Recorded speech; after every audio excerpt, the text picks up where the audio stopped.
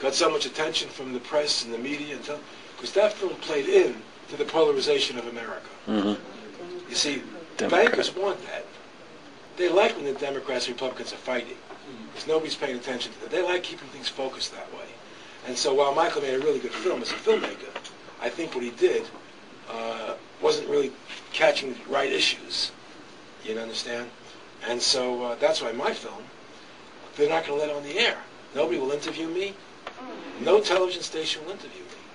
Mr. President. They won't let it out.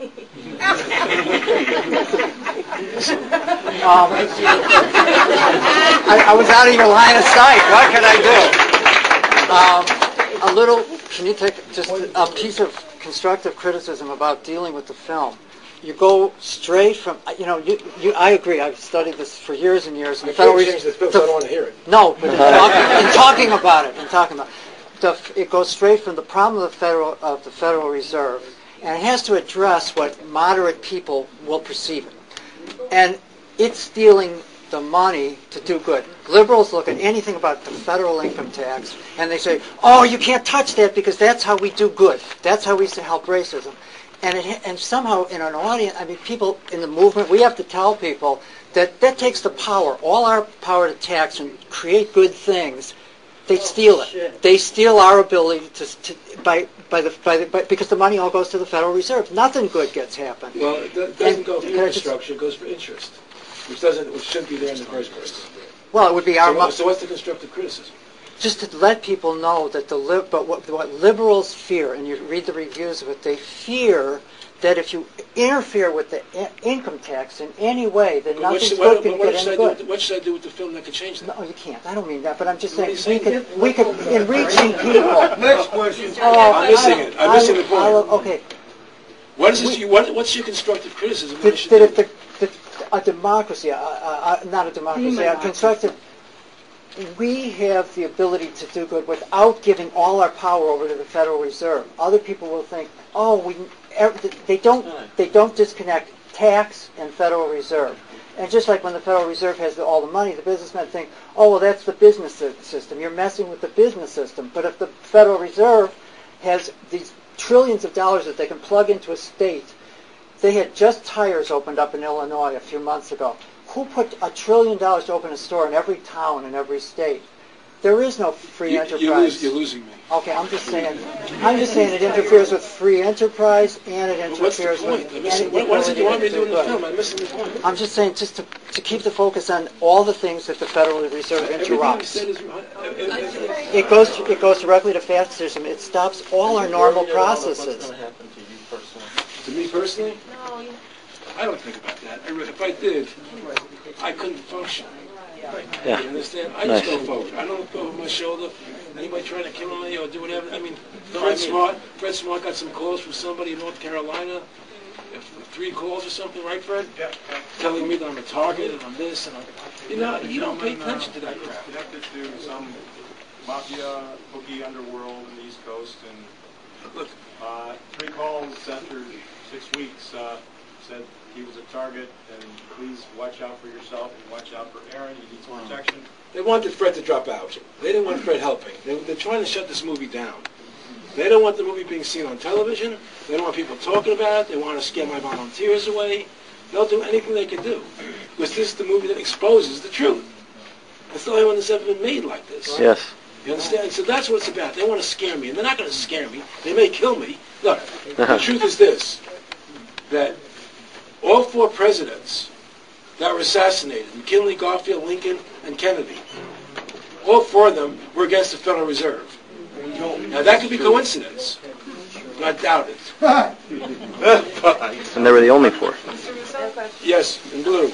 Um, I see what you're talking about, you know, in the future, because I don't see this happening tomorrow. So as a student, You don't see what happening tomorrow. I mean, you know, them closing down the Federal Reserve. So I'm wondering, like, wait, this is my first question. Wait, wait, wait. So I'm wondering, like, as a student, because um, I didn't, you know, file my taxes this year. I would say, you know, I didn't make too much and blah blah this. Right. But you know, I can't go to school this year because I don't have the financial aid because I didn't file my taxes.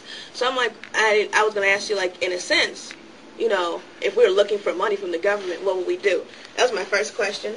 And then when they, and then when you Don't look for money from the government. That's the first but I'm thing. just saying that, well, I mean, because personally, me, I don't have it, and I'd like to pull it out somewhere because I know we're going to need it within Go the next, it. you know, year or so to at least get us to where we need to go. I, I mean, I, I do, I know what you're talking about, but you have to understand where I'm coming from. That within the next year or so, before we can, you know, literally shut everything down, we're still going to be, you know, getting money to buy our gas, using money to pay our light bill, to go to school, you know, these things. I- I- Your, your your thoughts aren't clear to me. Okay. I'm not Okay, let me getting, I'm not getting the concept behind what you're asking. I'm asking about when you're talking about taxes. Yes. Okay, so and then you're tying that into shutting down because I see where the movie's leading up to shutting down Federal Reserve. I saw Yes. where you you know tied that into. Right. So as a part of taxes, you know, everybody fills out your taxes, you do this, you do that. But for students, we do it. Our motivation for doing it is for that the government to say, oh, thank you for filing your, filing your taxes. Here's some money. Please go to school. Blah blah this. So as a student who's not filing the It doesn't, let me, let me help you out. okay, please. It doesn't matter if the Federal Reserve is in existence or the government's making the money. If the government wants to help you, they can. It's, it's, it's the same money. Okay. So it doesn't, you know, the difference is this. If the Federal Reserve makes the money, then we have to pay them interest. And we're in great debt. If the government makes the money, there's no interest to pay. And you're not in debt anymore. Mr. Russo, I believe what she's trying to say, though, is that the structure is set up to, to uh, facilitate that, meaning that as a student, if you want to, if you want the, st- if you want the government to help you, a Pell Grant, for instance, Right. you have to show an income tax return. Oh, oh, So there's so- no way to Okay, get I, around I that. understand that. There's no question. And same thing with having an employer. If you don't want to pay your income taxes, they take it out of the source. Your employer doesn't allow you not to pay it. You understand? So the system is designed I'm not paying it. to help them. There's no question. You know, you want to get a loan to go to college. You know, they want to put you in debt and they want you to file your taxes so you're part of the system. Right. That's the way, that's how smart they are. That's what they do. I understand that part. Just you know, what do we do? Well, you got, yeah, it's called sacrifice. I see. It's called sacrifice. I mean, the truth is that look what the founding fathers did to get away from England controlling them. Yes. Look what we have to do to get away from the Federal Reserve controlling us. I mean, it's just it's just sacrifice. There's no denying it. That's not easy. But there's no question that the the Federal Reserve can be shut down in a matter of weeks. Oh, I, I, I believe it. I've been. I'm just glad you came out with this. I've been. You know, what if we got rid of money? Wouldn't I mean, we all they- be great? Congress has the ability, the legal authority, to shut them down. But then my next question ties into that. Actually, I have two more questions. When you talk about the chips, what about vaccinations? Because I've always, when they first came out with that little implantation for, Right. you know, track your kids, I was like, what the hell? So they could just track you and then, oh look, you were there for that murder that night. We tracked you right here. Right. You know, I was like, hell no. So then, I mean, what about vaccinations and you know, implanting people without them knowing? Aren't you afraid of that? And then my third question, before you go off, is you know, once we do get off and once we do shut the Federal Reserve down, you know, what will happen to the value system? Because I've heard rumors about, you know, about the social, uh, excuse me, about the Social Security number being backed by human, I mean, the money system being backed by, you know, human bodies, human bodies, and not actual gold, and that the gold was actually stolen, that there is no more, and that's why they were creating money out of thin air. There is no more. Right. So Uh, it, once we, right, but once we shut down, you know, saying the uh, the Federal Reserve, you know, place, what will happen to the value system? How we, you What do know, you mean the value system? do you mean like the money system? There's no more money, so I Well, say, no, no, no, no, no, somehow I'm not coming across to you. okay, Yeah. The government, whatever the Federal Reserve does, the government can do okay, without interest. So if you get rid of the Federal Reserve, doesn't mean there's no money anymore. It just means you're not paying interest on the money anymore. They're creating it. We own the money. How many times have you heard it doesn't matter what the debt is because we owe it to ourselves? People say that all the time, but we don't owe it to ourselves. We owe it to them.